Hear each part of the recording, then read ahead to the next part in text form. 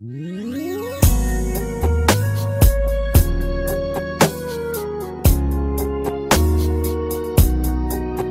seems like just the other day that we hooked up.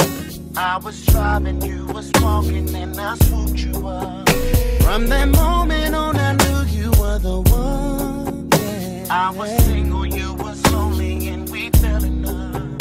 We would sit and talk for hours up, no, you hang up on three hang up. I bought you I paid you, and I gave you everything. Hello, my name is Silvia Via, and we are at the CharlesMark Hotel in Boston. We are here for One Way Treatment Inc. There's only one way to treat a lady, and that's the right way. We are here for the Venus vs. Mars event, and thank you for coming and supporting the event.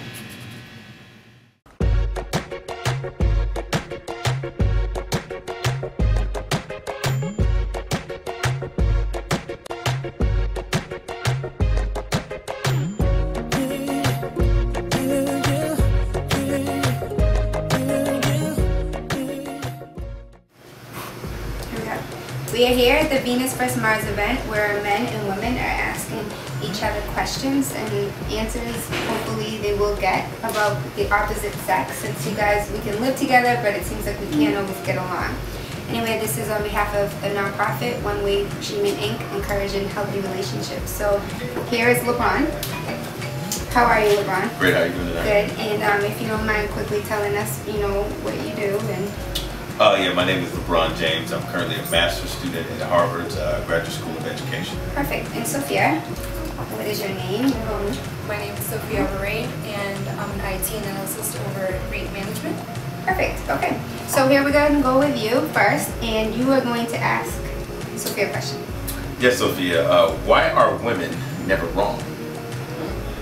That's a good question. Um, I mean, personally, I I have a strong, strong personality. Um, I believe everything that I say. So if if someone thinks I'm wrong, I usually find a way to, to make them believe that I am right, whether I am wrong or not. So um,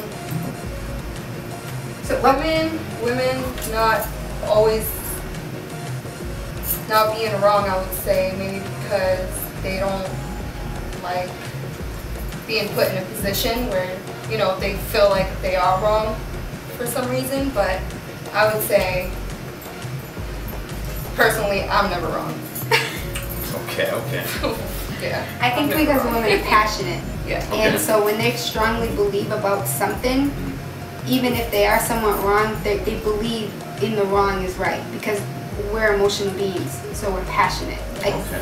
would you agree with that? Yes, totally. Okay. All right. Is there room, though, within that passion to to take in additional information to possibly understand that you may be wrong or there may be a middle road? I think absolutely. I mean, Um, yeah, there's a possibility. That's all we need is a possibility. it's a possibility, yeah. okay, so my question to you is why do men want to be forgiven but can't forgive? I think uh, men want to be forgiven because women, as the nurturers on the planet, have the capacity to, to give life, to take life, and so you have the uh, capacity to forgive.